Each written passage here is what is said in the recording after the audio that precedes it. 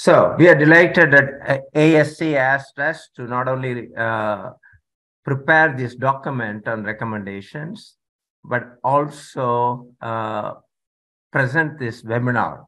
So we'll share some of our thoughts with you, and it won't be a complete, uh, complete repetition of everything that's written in the uh, document, but we will just go over the various applications of echocardiography in rheumatic heart disease.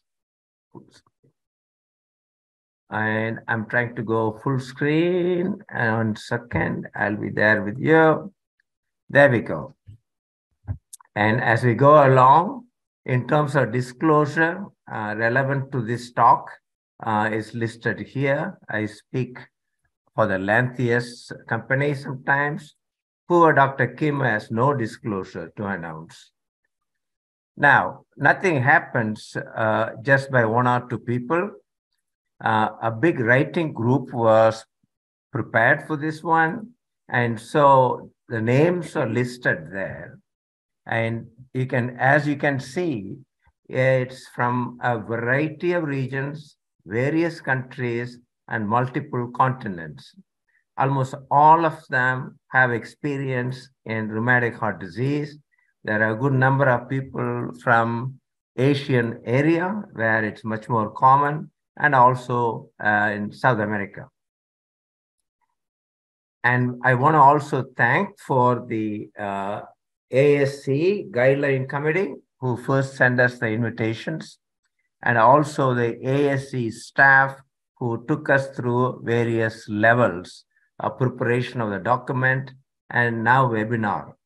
And uh, special thanks goes to Liz uh, with reference to this webinar because she put in a lot of work in this area. Every level uh, of uh, ASE staff helped us. And uh, so it's a teamwork from multiple people. And this document uh, has been endorsed by a variety of countries, uh, country associations, and uh, uh, who are all alliance partners, international alliance partners with ASE. So the learning objectives, the hope is by the end of this presentation, the viewer will be better able to understand the pathoanatomic abnormalities of various rheumatic valvular lesions, hemodynamic derangements of various valvular lesions, and how we can employ quantitative parameters uh, to assess rheumatic valve lesions and the clinical implications of this particular uh, findings. Now, I will take you through a small tour or a journey and a, a, a few words about disease evolution, and then talk a little bit about rheumatic carditis. Various valve lesions we'll go through, looking at the pathoanatomy, hemodynamics, and chamber function, and also end with how echocardiography could be employed to guide therapy. And uh, what you see on the right side are the various modalities of echocardiography uh, that are useful, and we'll go through that. Also, pointing out uh, uh some of the pitfalls, uh, but emphasizing the technical aspects as we go along. One thing worth keeping in mind uh, this is the guidelines and recommendations like any guidelines or recommendations, not all items in the guidelines are thoroughly validated. Many uh, occasions where we just have to come to a consensus and think that's the best way to go. And so a lot of, not a lot, many of it are based on consensus expert opinions. The recommendations here should be considered and applied in the appropriate clinical setting. As we know, the patient is more than an echocardiogram, and so we have to put the clinical symptoms and signs and also other associated disorders in case they would influence them. That is how one has to interpret these guidelines and recommendations. For that matter, any guidelines or recommendations. Now I'm going to turn it over to Dr. Kim to talk about the pathophysiology. Okay, so we're gonna briefly review the pathophysiology of rheumatic heart disease. Uh, rheumatic heart disease is a long-term consequence of acute rheumatic fever, which is caused by immune or autoimmune mediated injury following an infection by group A, beta hemolytic streptococcus, otherwise known as strep pyogenes. Um, acute rheumatic fever can present with a variety of symptoms, including skin findings, chorea, um, arthritis, but carditis is the most common feature. And valvulitis is the most consistent feature of acute rheumatic carditis. The most common presentation of acute valvulitis is mitral or aortic valve regurgitation. So let's go over a little bit of the echocardiographic findings of acute rheumatic valvulitis. Um, within the appropriate clinical setting, uh, you will see broadly two types of findings on echo um, in a patient with acute rheumatic fever and carditis. Uh, one of the things that we would observe is a chordal abnormality. There can be chordal lengthening or even tear. On the leaflet itself, there may be some nodular thickening, uh, especially on the free edge of the leaflet. These abnormalities can lead to flail anterior, often anterior leaflet of the mitral leaflet that is shown here as an example. And that could also be associated with a significant uh, mitral regurgitation. Sometimes we might be able to get a better morphology uh, on a 3D echocardiogram, as you see on this en face view. You can see the nodular beating pattern uh, on the free leaflet on the uh, edge of the mitral valve here. So a few things to remember about acute uh, rheumatic valvulitis. Echocardiographic findings of valvulitis is a major criterion of acute rheumatic fever.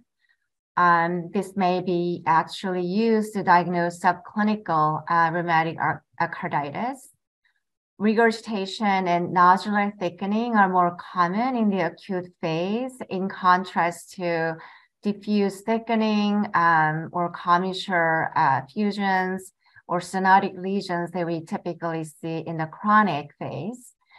If you are measuring valve thickness, it should be measured with a harmonic imaging up. Now, uh, to talk about the mitral stenosis, which is the hallmark of the rheumatic heart disease, I'm going to send it back to Dr. Pandian. Thank you. That was a good introduction to the whole uh, pathology. You know, everybody gets a sore throat, uh, particularly children all over the world. But a uh, small cohort, though, them go on to develop rheumatic uh, fever and rheumatic carditis. And so that is why the pathophysiology uh, is important. Now, mitral stenosis, the most common uh, uh, problem in rheumatic heart disease. And in the world, there are other reasons for mitral stenosis, but this is the commonest pathology. And uh, chronic lesion, first after many years after rheumatic fever and rheumatic carditis, the mitral stenosis evolves. And depending on where one lives in countries, uh, many countries in Asia, it can affect even at a juvenile stage. In countries like uh, uh, United States, usually we see them uh, pass in people past 40 years and even 50, 60, and so forth. Now, the characteristic features are depicted here. These are still frames. Valve thickening is important. And there is a commissural fusion, as you see in this slide, as the arrows point out. And the leaflet thickening in the picture on the right top uh, is first primarily at the tips, and the, the commissural fusion and the valve thickening at the tips leads to this kind of appearance where the belly of the valve leaflets may not be that terribly thick in early stages unless it's a chronic process where the whole leaflet could be thickened and involved. And where in diastole, when the mitral valve opens, there is often a diastolic doming, as the arrow shows, and mostly in the anterior leaflet. Occasionally, even the posterior leaflet can show some doming. So this simply, the diastolic doming simply indicates that the belly of the valve is in, uh, not that terribly fibrotic, while the tips are often fibrotic and the orifice is narrow. And then another thing we have to look at is the subvalvular structures, looking at the chordal structures and the, uh, and the, the whole subvalvular apparatus. It might not only they are thickened, they could be shortened, and this kind of a finding does have implications in creating the pathophysiologic consequences and also in the management therapeutic guidance uh, when we try treat these conditions, uh, treat this. And here are again uh, uh, the commissural fusion example. And shown here on the bottom is this nice video. You can see the valve orifice area is reduced and the commissures are somewhat uh, fused. And in the, it's a long axis, you see the doming, and the, here is a short axis image close to the tips. And this valve thickening we talked about, uh, the, the doming indicates a pliable valve, which is good. Uh, but in chronic cases, this fibrotic process might involve not only the tips, but all the whole meat of the leaflets. And then you may not see any diastolic doming. And uh, so it's a pliable valve. If one is doing a clinical exam, uh, this is a kind of a scenario that would be associated with uh, opening snap. If the whole valve is chronically inflamed and fibrotic and calcific, one may not actually hear any opening snap. In this picture here, we also see a large left atrium. That tells us the gradient across the mitral valve is going to be high. And we can even gauge that there's either right-sided valve involvement, uh, such as a tricuspid valve, or more often uh, pulmonary hypertension causing right ventricular dilation and dysfunction. Restricted valve motion and what people call a hockey stick, I like to call it just doming or the leaflet, the classic features, and a chordal thickening, the other one we mentioned. These are all things we have to anal analyze whether we are doing a transthoracic echo or a transesophageal echo. How about associated finding? As we saw in the previous example, left atrial size matters. And as the pressure in the left atrium goes up because of the obstruction, the uh, left atrial enlargement progressively gets worse. And if the right atrium is not involved, the interatrial septum will be bowing to a great deal towards the right. Another one we have to look for is any thrombi or clot present in the body of the left atrium or in the left atrial appendage. Or sometimes just a dense sludge, spontaneous echo contrast. Uh, most important is actually uh, whether there's a well-formed thrombus or not. And uh, uh that, that is one aspect, uh, a consequence of uh, mitral stenosis that we have to examine. And as the patient develops pulmonary hypertension because of high left atrial pressure, that will affect the right heart. And so the right ventricular size, right ventricular function, and the right atrial size. These all need to be examined both qualitatively and quantitatively. Now, while the majority of cases, the predominant lesion is mitral stenosis. there could be multiple valves involved. So either two valvular disease, for example, mitral stenosis and aortic stenosis, or even there have been occasional cases, even all four valves are involved. Rare, but it does occur. So systematically, one got to look at the mitral valve, the aortic valve, the tricuspid valve, and pulmonic valve also when we do the echo examination. Now, in terms of severity, as a valve gets narrowed, the gradient goes up. And here is a table that's in the uh, document and uh, uh, kind of grading the severity. If you say mild, moderate, and severe, the consensus is if the valve area is decreased, but it's still more than 2.5, uh, we are talking about the anatomic valve area. That's likely to be mild. And if it's 1.5 or less, uh, it's severe. And in between is a moderate category. And likewise, pressure half time, which I will show you an example shortly. Uh, if the pressure half time that uh, is more than 150, and we'll see it in the next example, uh, that means it's severe. But if it's less than 100, it's mild. In between is moderate. And then the gradient, you know, uh, gradient, it's more than equal to or more than 10, the mitral stenosis is considered to be severe. If it's five or less, mild.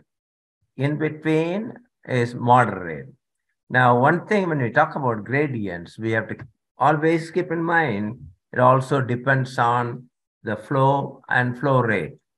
Uh, uh, and so gradient should always be interpreted in the setting of flow status. Now, as the case progresses, one develops pulmonary uh, hypertension. So severe pulmonary hypertension would be equal to 50 or more. Mild is close to normal stage and moderate is somewhere in between. But anytime we look at any of these things, particularly the gradient, besides the flow status, another thing we have to keep in mind is the heart rate. The heart rate is fast, you know, there's less time uh, to uh, fill. And so the gradient sometimes may not be that high, but we have to consider the uh, heart rate also. Now, planimetry, that's a fundamental problem uh, causing symptoms. That's a reduced orifice area. Parasternal short axis generally would give you a nice present, a nice depiction of the, smallest area. And uh, one of the key things is to trace at the right level, right angle. Otherwise, in a pliable valve, we might get uh, bigger valve area and uh, get a nice quality, get a nice quality echo image. And when necessary, use a zoom mode or decrease the depth, whatever that works.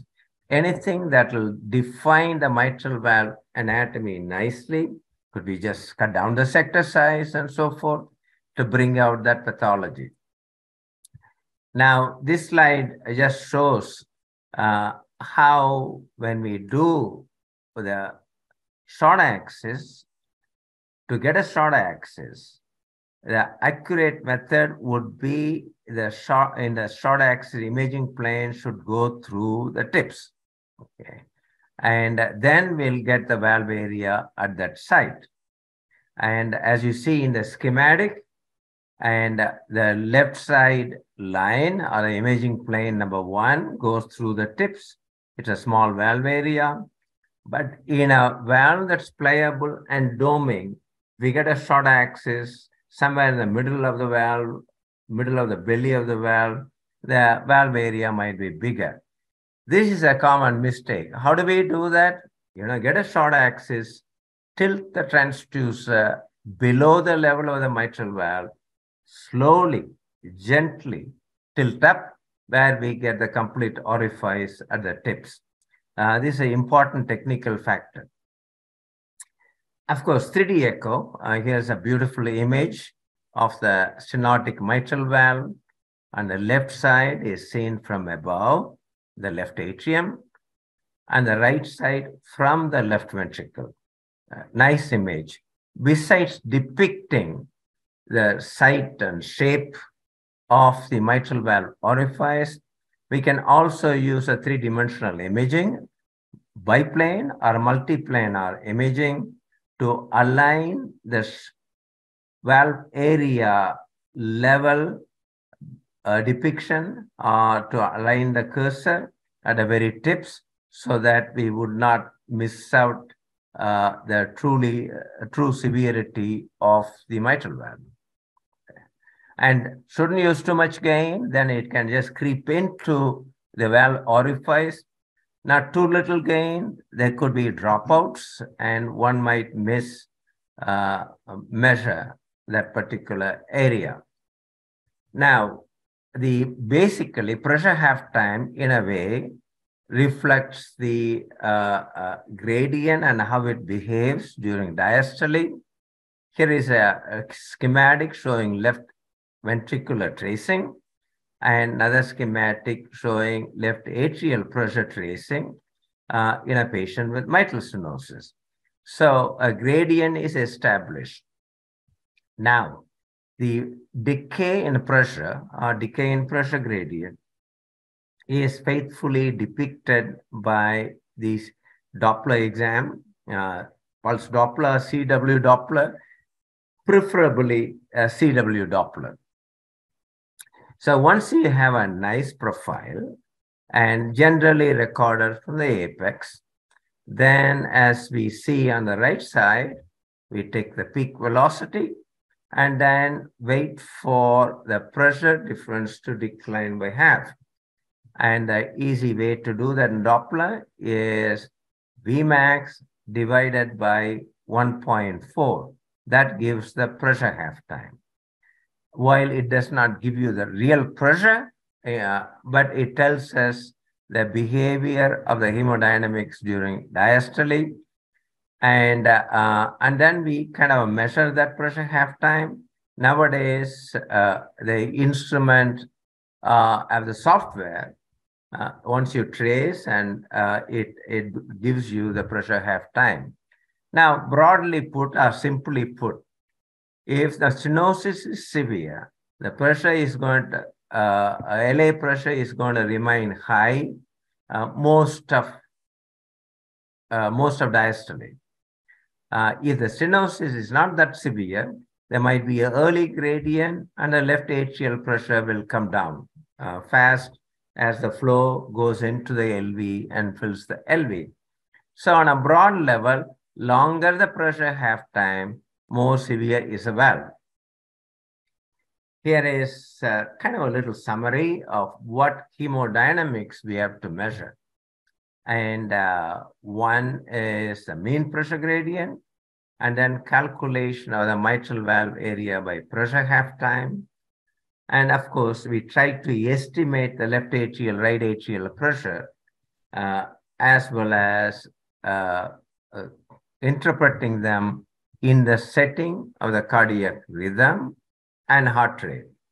And uh, the calculation of mitral valve area and the pressure half time uh, is good, but it could also be easily affected by other disorders such as aortic valve disease, severe aortic regurgitation, or LV diastolic dysfunction, they can affect the pressure half time determination. Color Doppler just shows the flow convergence in a stenotic area where a lot of isovelocity shells are formed. Uh, adjust the gain so that you see them the best. And uh, so this just tells us, uh, including the vena contracta, you know, where the flow is and how small the flow jet is. But we have to keep in mind, it's not a circular orifice. And so uh, one may have to look at it in many different views. There have been approaches to use the PISA technique to measure the flow also. But in mitral stenosis, it's a little tough unless you do 3D imaging of the proximal isovelocity surface area. Now, CW, besides measuring the gradient, and we also employ to assess the pressure half time. Now, this example shows that not they are not always smooth like the previous one we saw. It's a very steady decline in the velocity. But here in this example, there is a steep slope. This is through transesophageal echo. And then there is a shallow slope. And then one has a question, what do I measure? Where do I go from where to where?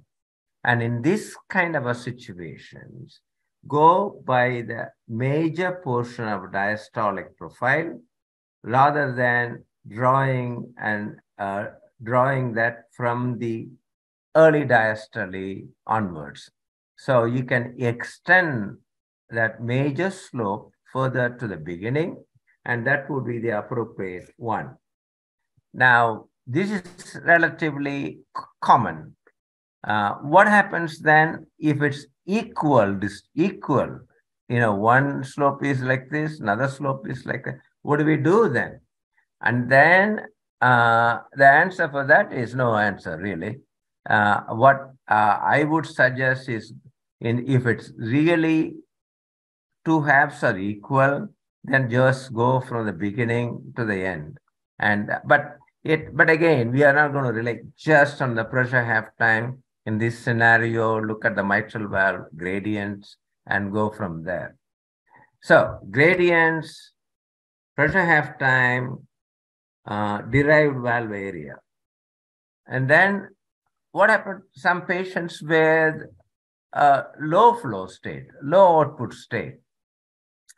In a majority of patients, a patient symptoms will correlate with a mean pressure gradient, and that will correlate with a, smaller valve area. But there are occasions there could be a discordance, discordance between symptoms, the other objective data, uh, discordance between the pressure gradient and mitral valve area. Very often they are in a scenario of low output state, but they could be in a high output state also. So common problem being a low cardiac output state in these scenarios, one can employ exercise hemodynamics. Exercise could be just alternate leg raising when you're doing an echo, or it could be uh, sit-ups up and down, up and down, or a well-structured exercise such as a treadmill, uh, supine bicycle uh, exercise uh, would be useful. Occasionally, we can use a dobutamine stress also if the patient is not able to do any exercise. Uh, my personal bias is doing a supine bicycle because it allows you to look at not only the gradient, what happens, uh, but also what happens to the TR velocity and the pulmonary artery pressure. So exercise testing in a patient who appears to be asymptomatic at rest is extremely valuable in determining the true severity of mitral stenosis. And uh, I would even say uh, an exam, echo examination of a patient with mitral stenosis with low gradient is not complete unless one does some form of exercise to quote unquote normalize the flow and remeasure the gradient. Now, uh, that's what the first lines, uh, two lines say. So mean gradient, if it goes up to 15 or more, uh, either during exercise or the dobutamine stress echo, uh, that indicates a significant rheumatic mitral stenosis. And also putting the patient's symptoms and this objective data uh, that also identifies who might benefit from intervention. One point to make about uh, symptoms is that, you know, because it's a chronic, slowly progressive disease, patients are, adjust themselves. So they might tell you, no, I'm fine. But on the other hand, if you do exercise, then you will find out how limited they are. Uh, so overall, mitral stenosis, common lesion, most of the time it's easy to estimate, I diagnose and estimate the severity, but one always has to use a comprehensive approach, uh, patient symptoms, uh, uh, physical exam, and then anatomy of the valve and subvalvular structures, and then the uh, gradients and pulmonary hypertension and all the hemodynamic facets. This just summarizes what we already said. Leaflet thickening, commissural fusion, restricted leaflet motion, chordal thickening or calcification. These are key points, which is what we mentioned already. Uh, key points and recommendations, just emphasizing and repeating uh, what we talked about during the examination. And planimetry is generally considered to be the preferred method for getting anatomic valve. After all, that's what causes all the other problems. Smallest valve area, optimized gain setting, and uh, leaflets, and when needed, use a zoom mode. Okay. Now, rhythm and rate are extremely important during Doppler assessment. So uh, that has to be uh, borne in mind. And it just says linear mid-diastolic slope uh, if the mitral flow profile is bimodal. Stress echo, we already uh, stressed on that enough. Whenever, particularly when there's a discordance between patient symptoms and what we see objectively. 15 millimeters of mercury or more during exercise echo. There are sometimes different opinions. To me, even if it goes up to 12, I think it's significant. But overall, uh, we don't rely on one particular parameter, uh, but take all the other variables. Now, I'll turn it over to Dr. Kim to talk about valve regurgitation. Thank you. So we're gonna talk in general of the rheumatic valve regurgitation. Um, the valvular regurgitation in the setting of a patient who has rheumatic heart disease is considered to have a primary rheumatic regurgitation valve when you see in general two findings at least two morphological features of a rheumatic valve in the absence of other etiologies and pathological regurgitation. And that is shown in the picture on the right. When you look at the top two panels, uh, panel A, parasternal long axis view, you are um, seeing the doming of the typical mitral, uh, rheumatic mitral valve that we see, as well as the nodularity and restricted posterior leaflet. In panel B with the apical four chamber view, uh, there is also associated uh, finding of enlarged left atrium. That is in association with the significant mitral regurgitation in panel C with the color jet uh, taking up the space, almost all the space of already enlarged left atrium. And this MR, according to the CW Doppler, you can see that it's a pan-systolic uh, flow that has a very defined border on the profile.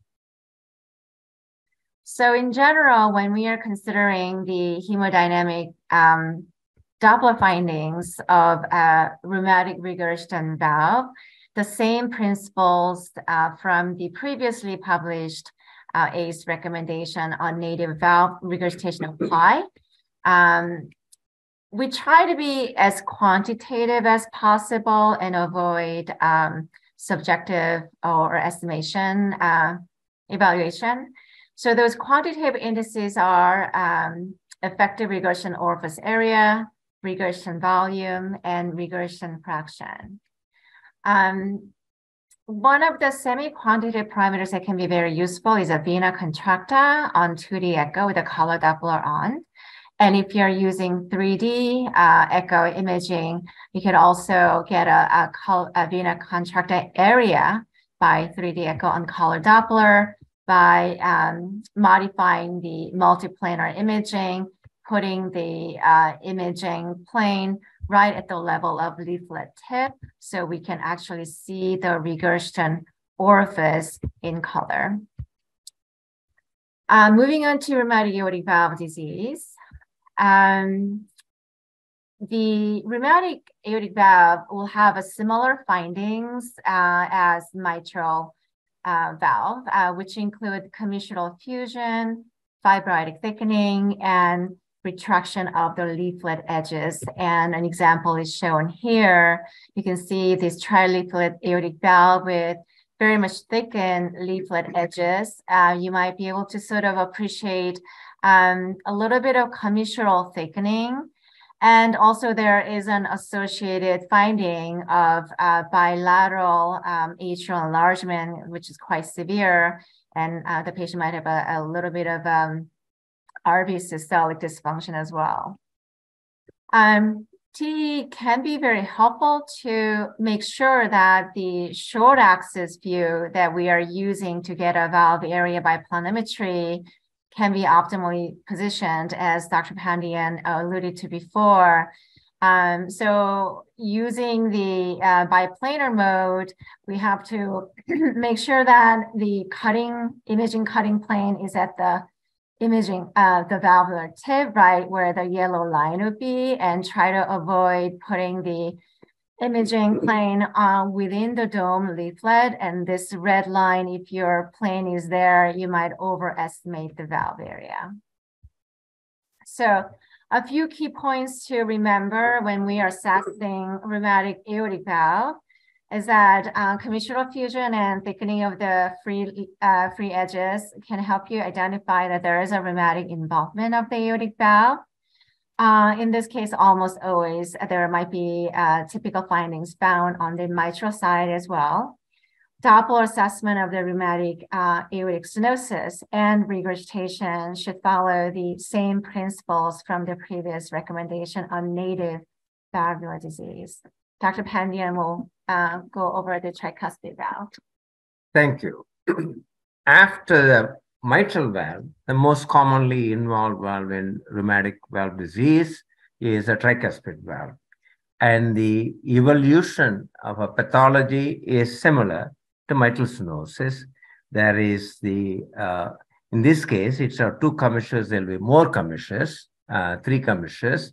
But again, thickening predominantly at the tips, and there is some doming we see on the left on the left sided uh, clip uh, pointed out by this arrow. And in contrast to mitral stenosis, uh, enormous amount of calcium or a fibrosis doesn't occur in tricuspid valve, but it can in some patients. Uh, beautiful 3D image of the tricuspid valve Again, it allows us uh, to employ a multiplanar imaging if we want to get the valve area the very tips, very similar to the mitral valve. Now, how about the gradients? Now, in general, we record the Doppler and adjusting everything properly. And then the uh, mean gradient, that's very useful piece of information. And if it's atrial fib, average many beats. And, uh, and then the pressure half time. The pressure half time in tricuspid valve has not been extremely well validated, but it's, uh, you can use it as an adjuvant approach. And uh, in terms of the mean gradient, it depends on the flow state. And so one has to look at uh, the pathology of the tricuspid valve, valve if it's a five millimeters of mercury gradient or more, that would be significant for a tricuspid valve in contrast to the mitral valve. And we look at every anatomic features as we discussed, leaflets and uh, commissural fusion and uh, subvalvular structures. And then, of course, the anatomic valve area and the consequence on right atrium uh, in particular any clots occurring there, we got to go through. And uh, so among these three, mean gradient and tricuspid valve area are probably more reliable rather than the pressure half time. And 3D echo uh, gives you a multiplanar images. These are uh, uh, some clips, and this patient has both mitral stenosis, as you see, but also tricuspid stenosis, diastolic doming, and uh, it's a mixed lesion. There's not only stenosis, there's also significant tricuspid regurgitation, along with right atrial enlargement superimposed on the left atrial enlargement. And this is a kind of a summary and looking at other findings. One is whether there is any systolic flow reversal in hepatic vein, and uh, that would indicate severe tricuspid regurgitation. And the inflow velocity, EVA velocity would be higher if there's significant TR. And any CW imaging, the intensity of the signals is important. In regurgitation, it correlates with the severity. Now, let's also go on about mixed valve disease. And mixed valve disease could be uh, a problem and complicated, supposing there's a concurrent aortic stenosis and mitral stenosis. Uh, one has to look if the tight mitral stenosis, then the flow going through the aortic valve might be decreased uh, because of limit, uh, restriction in the cardiac output. So we have to interpret it in that particular scenario. Dobutamine one can give to assess moderate or severe AS. Uh, but if it's due to significant MS, that may not help because the low flow is because of the mitral stenosis. Anatomic valve area is preferred, including the subvalvular structures uh, to determine the severity of all stenotic lesions. Now, what about mitral stenosis and aortic regurgitation? And we got to be careful that we are recording the correct profile. And uh, usually, uh, mitral stenosis flow begins after the valve opens, while aortic regurgitation starts earlier and also it lasts longer. And so it, mitral, mitral stenosis flow is primarily during the filling phase, but AR can start early and end late, and the velocity generally will be higher.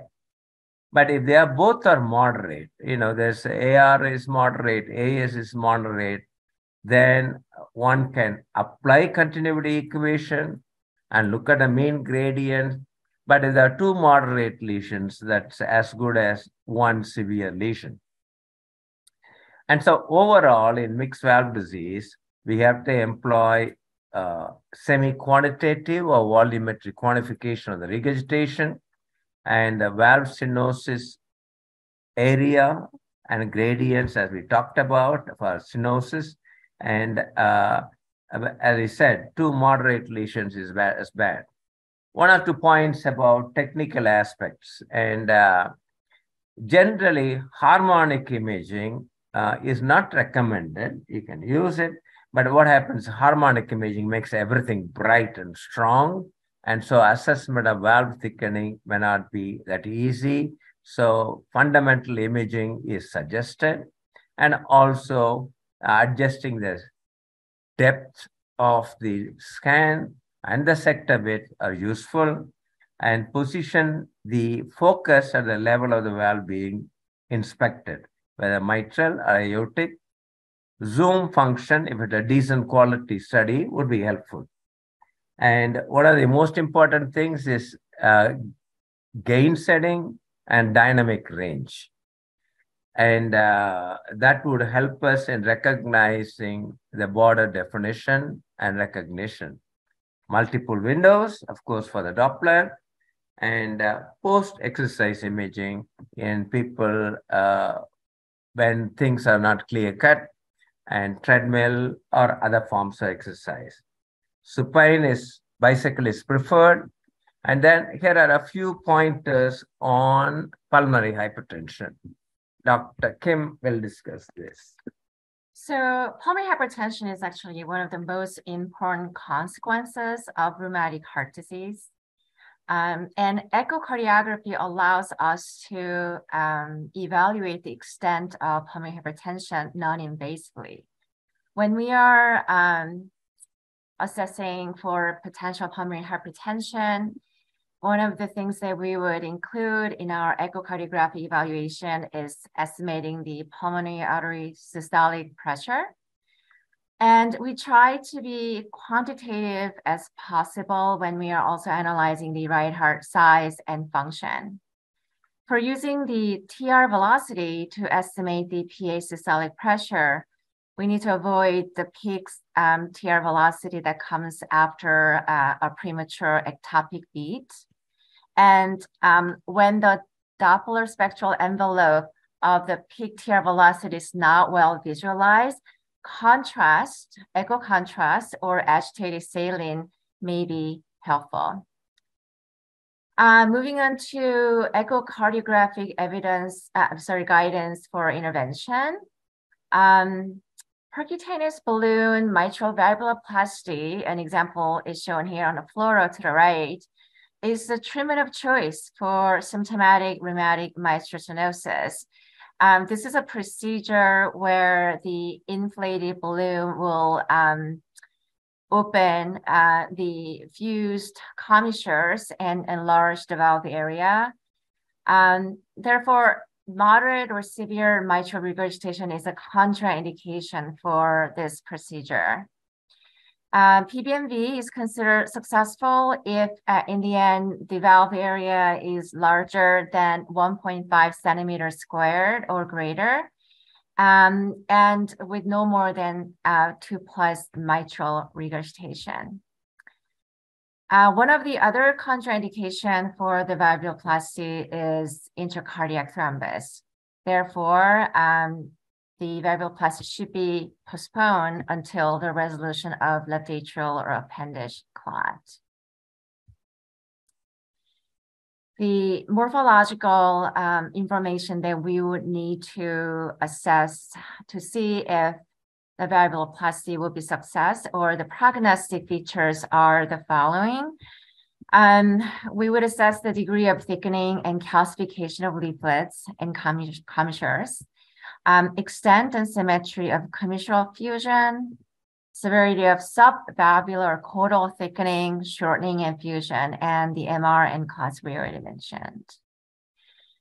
During the procedure, one of the things that ECHO can provide is the guidance to the transeptal puncture.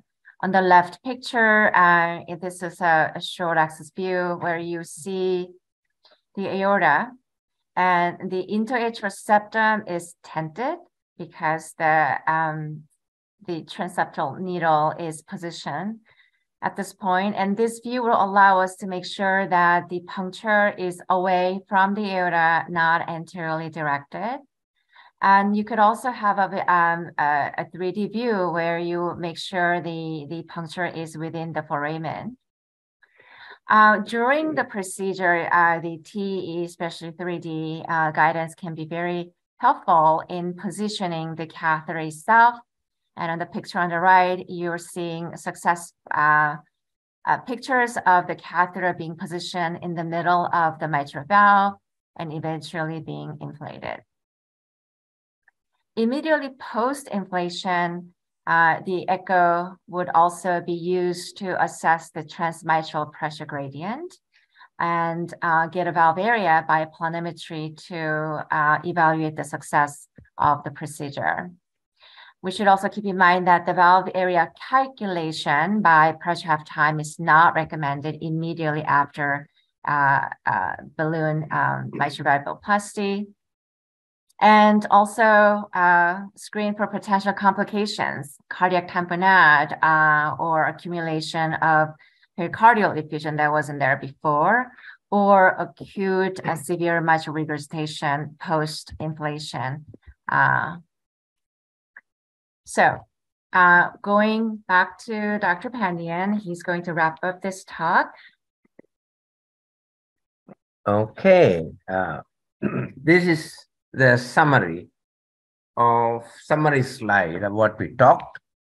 Uh, echo is a primary tool for assessing abnormalities and valve lesions associated with rheumatic heart disease. And uh, not only we see the pathoanatomic abnormalities uh, of both carditis and valvular lesions. Echo is an extremely uh, valuable tool as well as on hemodynamic and flow disorders and a critical guide to making and directing the therapeutic interventions. One of the things you might have noticed that we did not give any particular score system to assess the mitral valve anatomy for interventions, uh, simply because there are lots of different score systems, but they all basically talk about the degree of valvular thickening, uh, commissural fusion, symmetric or asymmetric fusion, and amount of calcium, and if there is more than any mitral regurgitation. These are the things one has to look for. So it's fun to do echo on patients with mitral stenosis. There are many tools, and uh, we would uh, be able to take some questions uh, that you already submitted. And we want to thank you for listening to us. And at this point, uh, let's go for some questions. Yeah, so we have some questions from the audience. Um, so let's take the one. This is uh, says that why in some patients your leaflet appears to prolapse. How do we differentiate if there's also thickening? Okay, uh, most of the time, that kind of a prolapse appearance, one will see uh, if the valve is pliable. Uh, if valve is not pliable and markedly thickened, you won't see that. And even when what appears to be kind of a reverse doming, if you will, uh, that never exceeds the mitral annular level, very rarely. And the chordal structures will be intact. So in this scenario, uh, unless there's significant mitral regurgitation, most of the thing that's important is to uh, look at the degree of mitral stenosis and all the other aspects we already mentioned. And uh, so that is not a true prolapse like uh, the other one. It's just a pliable mitral valve. Um, there is also another question. Um, while grading mitral stenosis, do we use the same criteria for both rheumatic mitral stenosis and functional mitral stenosis? Um, what what is functional mitral stenosis? I'm trying to understand. Uh, I think What the? What do you think the audience might be asking maybe um mitral stenosis that was included in the uh, previous guideline, but really uh, for primary mitral stenosis, the most predominant process is the rheumatic heart disease. So uh, in this case, um, most of, if you look at historically, the data that were used to um, include to be included in the um, the the guideline for the uh, native valve stenosis, most of those uh, were derived from the rheumatic patients with a mitral stenosis. So, Well, what's the next question we have? um, I like this question because it's actually getting at the heart of maybe using the multimodality and drawing the overall picture. So one question was, um, when grading the valve area of less than 2.5 as moderate, and if we calculate the area by pressure half time, uh, pressure half time of 100 milliseconds in this case, and that gives you 2.2 centimeter square valve area, which would also be considered moderate. Um, if the pressure half time of 100 millisecond is mild and you get a valve area of 2.2, can you explain what do we report in this scenario? Okay, of, of all the measurement approaches we discussed, uh, probably relatively speaking, the least reliable is pressure half time method. So in the situation you mentioned, sir, I would uh, go more by the anatomic valve area and not use pressure half time. Next question. All right, we have two minutes left. So uh, the next question is, a patient is in AFib with a frequent ectopic beats. Okay, what do you say? I think this was also covered in our full version of the guideline, and the recommendation is to average. Uh, you know, so in um, in AFib, I'm not sure about frequent ectopic beats, but in a patient with uh, atrial fibrillation, and especially if there's a wide R to R interval uh, differences, then the recommendation was to average multiple beats. Okay. Uh, I would kind of do it both ways. One is averaging. Another one is a very short cycle beat. That means it's a low flow state because there's not enough filling to occur. And uh, so I would take a long cycle beat uh, also, and the gradient and pressure half time might be affected a little bit. So the best thing is probably to average consecutive beats, not chosen beats, consecutive beats. Any other question? They are good questions. Yeah. Um, so uh, the next question is calcification causing increased gradient and stenosis. It's not actually a question. Um, calcification. Yeah, calcification causing increased gradient and stenosis. Okay, I I uh, wonder whether you're talking about non-rheumatic mitral valve abnormalities you know, particularly elderly people with severe mitral annular calcium, and the calcium and fibrosis can uh, encroach on the mitral valve completely and producing hemodynamically and functionally mitral stenosis. In that scenario, probably the most useful uh, is uh, pressure gradients and how it behaves with uh, stress. Uh, fibrodegenerative mitral stenosis, non-rheumatic mitral stenosis is pretty common. And so we just have to go by the anatomy and also the gradient. And uh, th those kind of patients generally have abnormal diastolic function. And so the pressure half time method uh, probably is not that reliable. So anatomy, my friend, and that's it. We are right on time on the hour. Okay. Thank you, folks. Thank you to listening to us. And I wish there was a two-way communication, in which case we would have learned from you. But nevertheless, thanks for spending a little part of your life with us. Thank you.